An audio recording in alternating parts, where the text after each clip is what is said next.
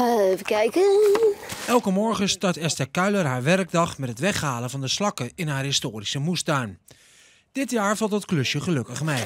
Vorig jaar was het echt extreem. Toen uh, kon ik elke dag ongeveer uh, zo'n laag uh, slakken rapen. En dat slakkenrapen is een noodzakelijk klusje. Want er zijn zo'n 400 verschillende soorten eetbare groenten. Paarse boerenkool. Nou, prima eten. Heel zoet. Suikerwortel. Ook heel lekker. Uh, productie is een stuk minder, dus daarom zul je het niet zo snel vinden. Maar de slakken waren niet de enige bedreiging voor de sla, venkel en alle andere gewassen die Esther verbouwt. Het was een pittige winter voor tuinders, kwekers en eigenaren van historische moestuinen.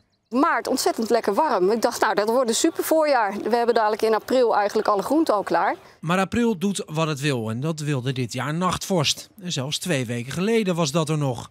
En die werd veel aardbeienplanten fataal. Dus dit is een, uh, een goede aardbeienbloem.